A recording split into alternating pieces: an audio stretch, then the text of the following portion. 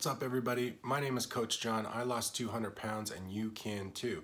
And one of the things I did well on my weight loss journey was get a high protein intake and it really helped. Today we're gonna talk about how to use protein for weight loss, how much protein you need, and exactly how protein can help you lose weight.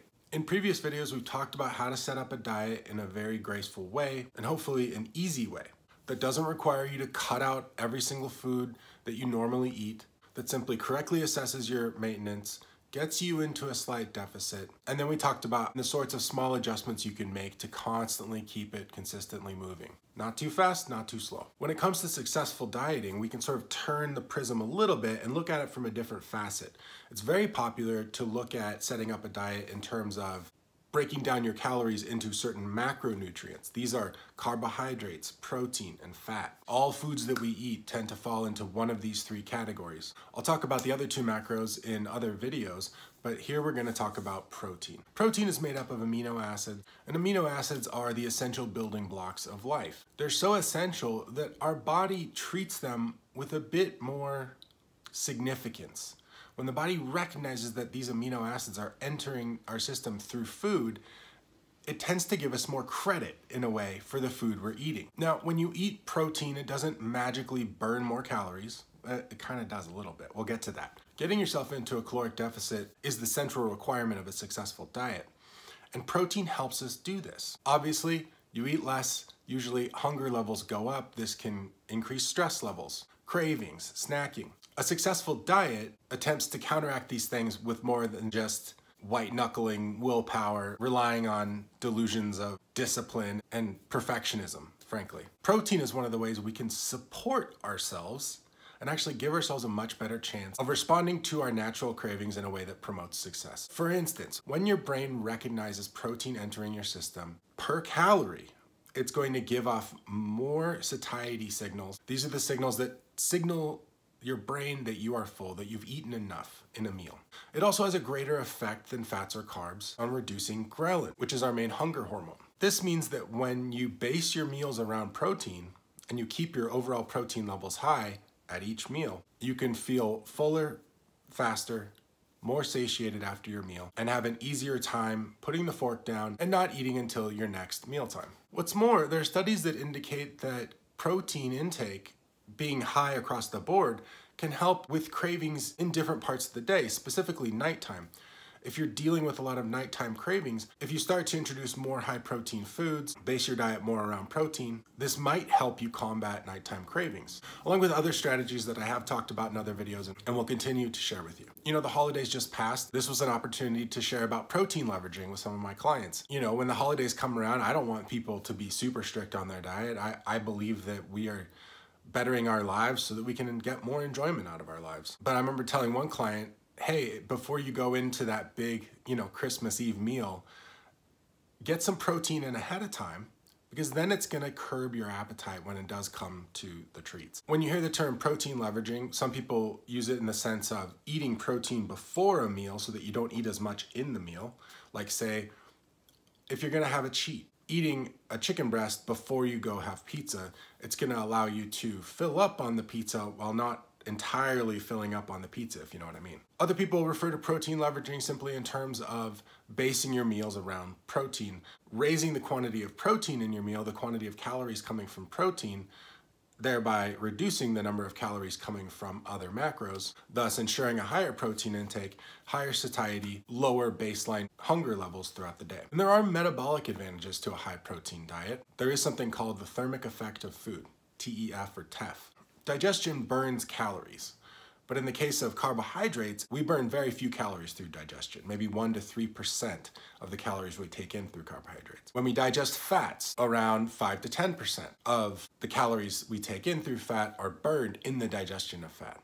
With protein, it's between 20 and 30%, which means if you eat 100 calories of, of pure lean protein, 20 to 30 of those calories are going to be burned in digesting the protein, separating the amino acids so that they can be sent for various uses throughout the body. While in most cases this is a small benefit, it's still a benefit. This is a game of inches, and every little advantage counts. High protein diets have been associated with lower visceral belly fat and with reduced weight rebound after diets are over And this has a lot to do with what's going on in your body during a weight loss phase, right?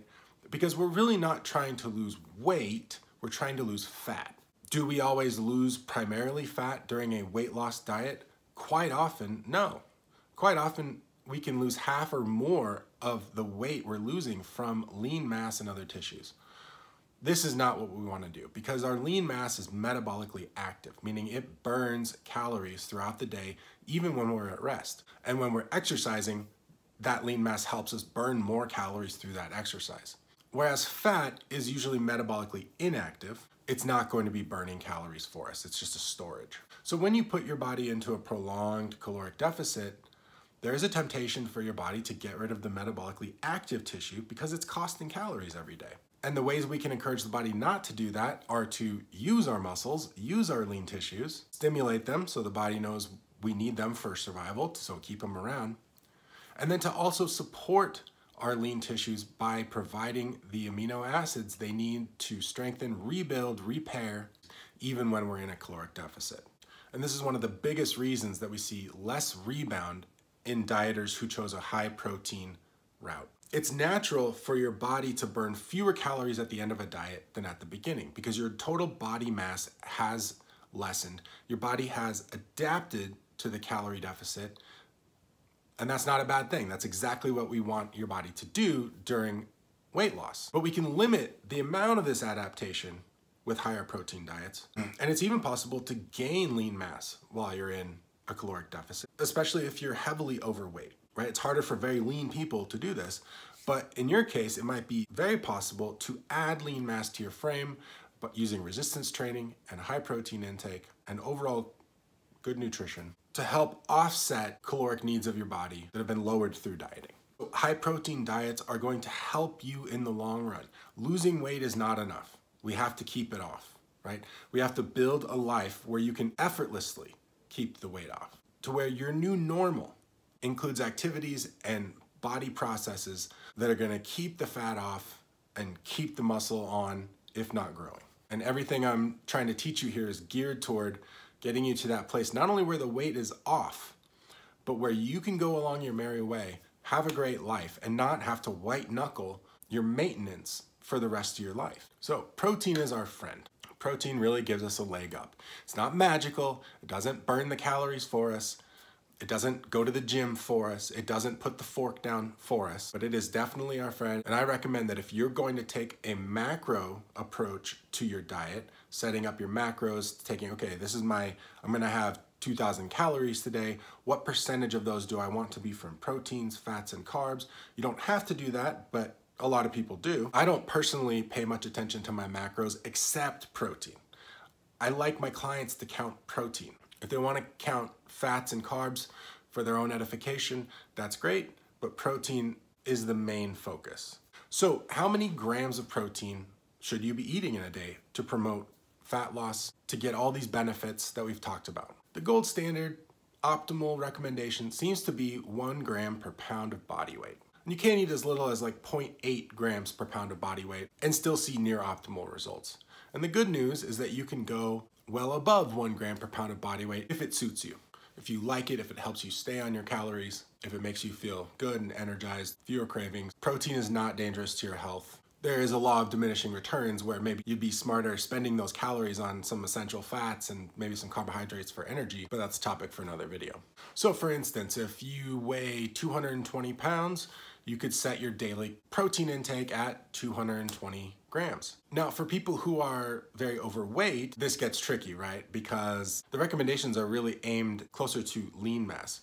So one recommendation is to take your ideal goal weight and use that as your baseline. If you're 360 pounds and your goal weight is 200 pounds, you could take 200 grams of protein per day as your goal. If you think 150 pounds is your goal weight, you could pick 150 grams as your goal.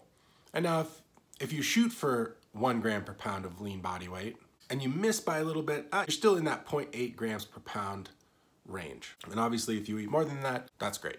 Now, some people recoil, I've seen this a lot, and they go, what, 150 grams of protein? How on earth does a person do that? If, if you find it startling, the idea of eating this amount of protein in your day, that's actually kind of a good thing because it just shows how much room there is in your habits for healthier eating. Like there's a big opportunity to learn how to eat like a human being. And if you're looking for more ideas on how to get high protein foods into your diet, I will do another video just on that topic because I think it merits it. But rest assured there are lots of options for getting more protein into your diet.